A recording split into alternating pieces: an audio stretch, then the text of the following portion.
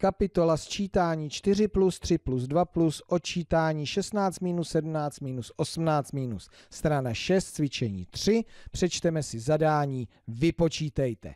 A co budeme počítat? Písemné sčítání a odčítání. A vidím, že je zde namícháno sčítání i odčítání, takže nejdřív si připomenu, co budu říkat při sčítání a co u odčítání. Takže u sčítání říkáme plus, u odčítání a kolik, kolik je. Vždy počítáme ze spoda nahoru, jak u sčítání, tak u odčítání. První příklad. Vždy začínáme ze zadu. Tady je to jednoduché, protože zde je jenom jeden sloupeček, sloupeček jednotek.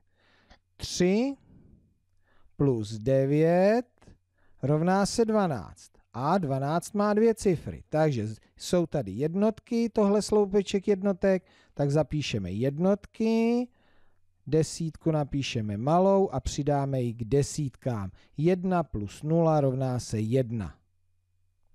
Odčítání a kolik je. Takže ze spoda nahoru tady je jak sloupeček jednotek, tak sloupeček desítek a vždycky začínáme odzadu, čili od jednotek.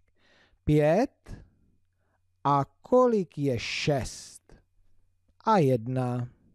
Teďka desítky, nula a kolik je jedna? Jedna. A znova sčítání.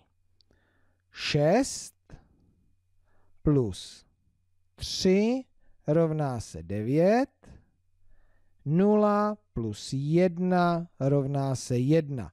Zase jsme začali ze zadu od jednotek a potom jsme pokračovali sloupečkem desítek. Odčítání. 6 a kolik je 9? A 3. 0 a kolik je 1? A 1. Sčítání. 7 plus 7 rovná se 14. Pozor, 14 má dvě cifry, takže začnu odzadu jednotkami. Zapíši čtyřku, jednička už se mi sem nevejde, takže ji přidám k desítkám. 1 plus 0 rovná se 1. Odčítání. 4 a kolik je 7? A 3.